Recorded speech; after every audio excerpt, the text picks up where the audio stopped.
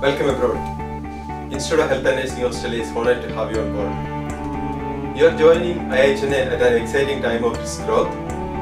We have completed more than five years of operation and successfully enrolling more than 1,000 students.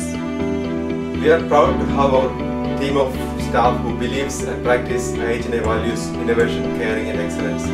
We value all our staff members and consider them building our future. Once again, I welcome you to the IHNA family, where your career will take off and grow with IHNA. Thank you.